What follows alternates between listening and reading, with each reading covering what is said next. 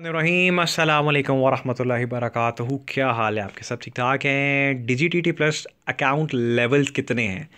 ये एक सवाल पूछा गया है कि sir Digi T T plus का जो अकाउंट है, वो क्या एक ही अकाउंट है या उसमें भी कुछ लेवल्स हैं या डिफरेंट किस्म के अकाउंट्स हैं?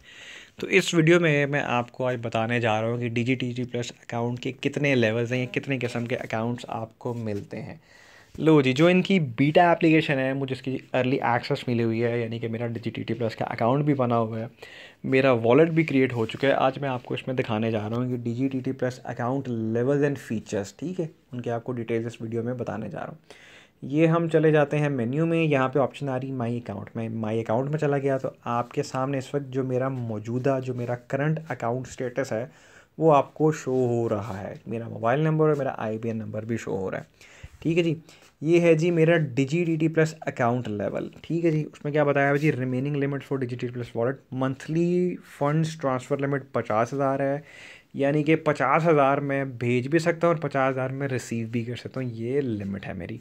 और मैं आपको थोड़ा सा बैग जाके आप बताता हूँ जी। तीन किस्म के, ये देखो, तीन किस्म के आपके Digi T T plus account levels हैं।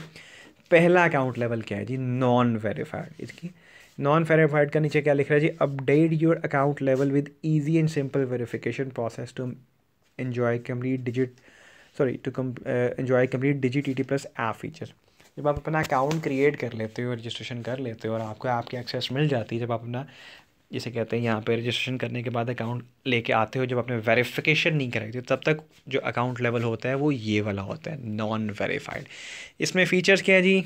ये मैं आपको दिखा देता हूँ. नॉन वेरीफाइड में भाई ना कैश डिपॉजिट कर सकते हो, ना विड्रॉ कर सकते हो, ना मनी ट्रांसफ़र कर सकते हो, कोई ऐप के फीचर्स नहीं मिलते एनहेंस ट्रांजेक्शन नहीं मिलती. और ट्रांजेक्शन लिमिट्स की अगर हम बात करें जी, इसमें नीचे जाके ट्रांजेक्शन लिमिट्स क्या हैं जी? ना कैश विड्रॉल है, ना सेंडिंग लिमिट है, ना रिसीविंग लिमिट है, ठीक है?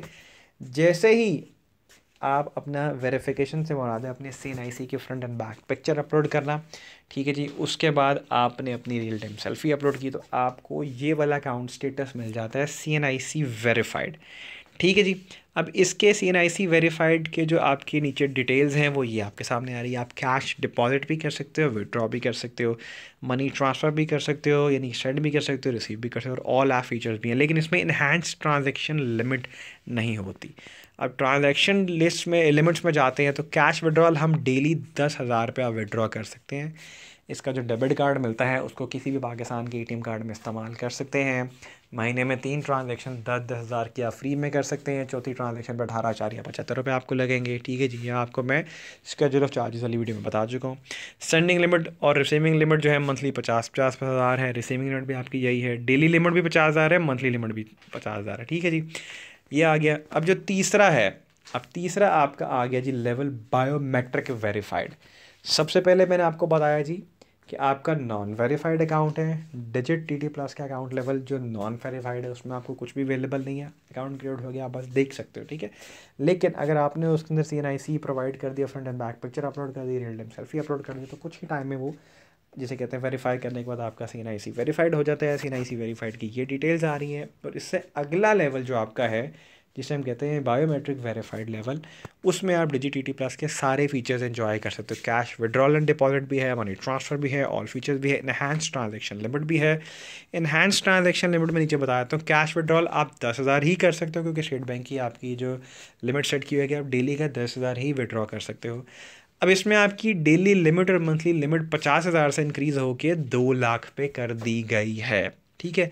और रिसीविंग लिमिट भी दो लाख कर दी गई है। तो कहाँ आपकी पचास हज़ार कहाँ दो लाख? तो ये तीन लेवल्स हैं। D T T plus wallet के D T D G T T plus account level जो हैं, वो तीन किस्म के हैं। Biometric verified C N I sorry सबसे पहले आपका नॉन वेरीफाइड फिर आपका सी एन आई सी वेरीफाइड फिर आपका बायोमेट्रिक वेरीफाइड और नीचे उनके ये ये फीचर्स हैं और इनकी ट्रांजेक्शन लिमिट्स हैं। तो ये सिंपल और आसान सा तरीका है। ठीक है?